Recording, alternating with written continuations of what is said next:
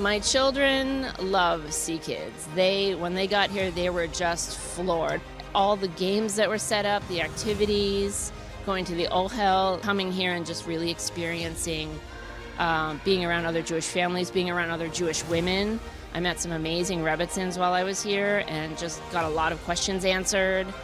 And so it was really, it was a really a launching point for me too. My family as a whole has been affected in a very, very positive way. I think we didn't realize how much fun it is to be a Jew, honestly. And so I think this was really a great eye opening experience for us. JewQ has made a big impact on our family.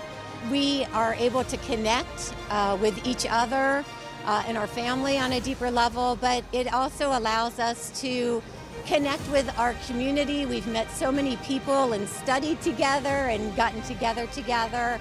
Um, and around the world, it's just been a wonderful connection for us. JewQ really gets you to reflect and think. It teaches you about your heritage and the Jewish people, but more importantly, it teaches you about yourself and who you are. It's not just about hearing and learning, but it's about doing. The big thing about the book, I think, is just like JewQ. Uh, the book is sturdy and strong, and so are the Jewish people. And from learning and reflecting and growing, um, we have become more engaged and proud to be Jewish uh, with our actions to make ourselves better and in so using our gifts to help make the We world really a better rely on them place. to teach us new things. One of the amazing things that Amelia brought to our home is bringing in the Havdalah service that we now run weekly in our house.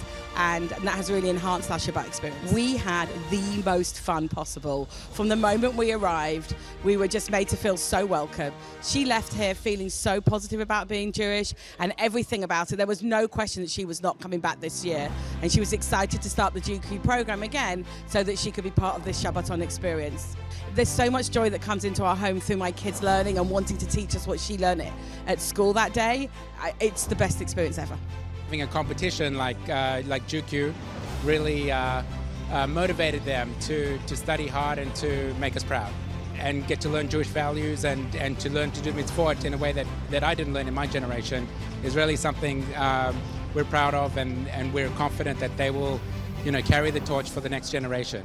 We've become uh, kosher over time, which is something that uh, we didn't necessarily foresee when we uh, when we first started 10 years ago. Our kids know more about uh, the mitzvot than we do, and they teach us sometimes. This is an amazing, fantastic experience. Um, it's a conference, it's a Shabbaton, it's the JewQ competition, and it's it's you know I couldn't ask for more in one weekend. It really is a fantastic program, and our kids were thrilled to be coming back again this year. I cannot recommend it enough. Get your kids to join CKids. Uh, come to the Shabbaton. It's the most amazing experience.